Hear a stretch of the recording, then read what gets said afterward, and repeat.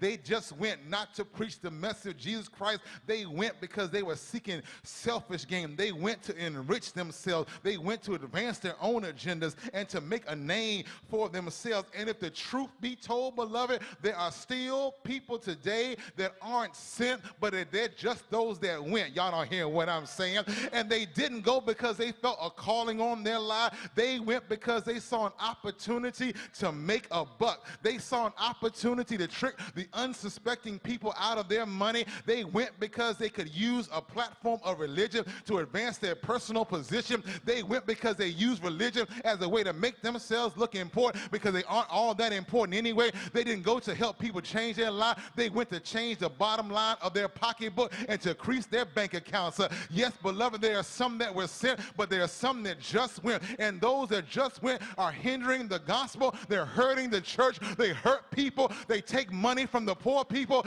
Yes, my friends, Jesus even warns us. I had you read it as a response to reading that false prophets and false preachers would rise up in the last day. They would even use the name of the Lord and even deceive the elect if they could. That's why we must be able to discern those that were sent by God and those that just went on their own.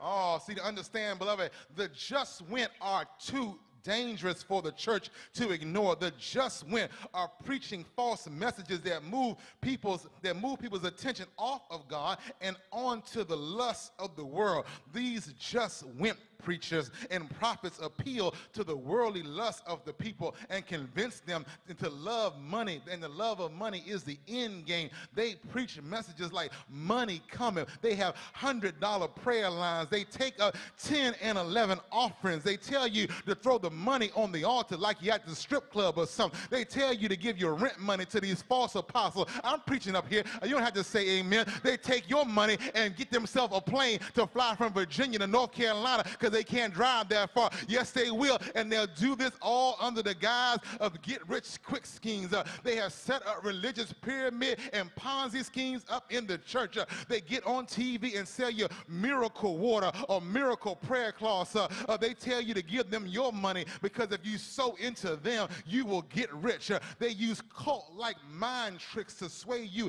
into believing that they're all about God when really they're all about the Benjamins, baby. They are not preachers, they are are pimps in the pulpit. They are shysters. They are false teachers. They are sorcerers. They are hucksters. They are jackleggers. They are money-loving tricksters. They are wolves in sheep clothing. They prey on the vulnerable. They prey on the weak. They prey on the desperate. They rob widows of their life savings and chase after members of the congregation for sexual favors. They are abusers and manipulators. They'll sell books and CDs on self-help and charge you big money to come to their conferences and seminars. They make you feel guilty if you can't give 10% of your your money to them. John, that don't make any sense. When the average black family is only worth about $7,000 uh, versus the average white family, which is worth $144,000, it is a shame for folks to try to rob black folk of their money under that tithing myth. Amen. If you heard me before, I tell you and I show you that all we need to be given is what we're able to give. No more or no less. Uh, but these pulpit pimps will make you feel bad. They'll tell you that you're robbing God because they're misquoting Malachi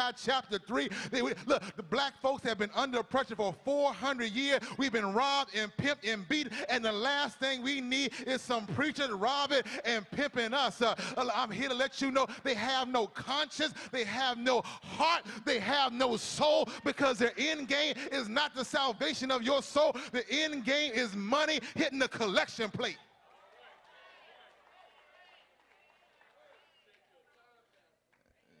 These people, uh, these pulpit pimps don't have a transformational ministry. They have a transactional ministry. Their ministry isn't to change you. Their ministry is a transaction of your money into their pockets. And you've got to be able to discern the sent versus the went. In our text today, we get to see how you can see how who's the sent folk versus the went folk. In verses 5, we get a picture of the, of the sent folk. Somebody say the sent folk. We have a glimpse into the church at Antioch. Antioch was a good church, wonderful believers. Many in this church were some of the early believers who were persecuted in Jerusalem. Many of them had seen the miracles of Christ and been there on the day of Pentecost. Uh, they had seen the Holy Spirit fall. They seen the power of God. They seen the sick get healed. They seen the dead rise. They seen the blind get sight. They seen the lame walk. They seen the Lord and they saw the power of His heart. And they see that very power now within their own selves. And many in this church, uh, where they were studied, they were they studied the Word of God. They were diligent learners. They learned from the best teachers. Uh, many in this church were extremely dedicated and devoted to God at the point that even the text says in a few uh, chapters back that they spent a whole year studying the Word of God just to get a good foundation so they could serve the Lord better. They were an excited church. They were a serious church. They sought the Lord diligently. They were real disciples, dedicated, devoted disciples who were diligently seeking God. It was in Antioch that the believers were first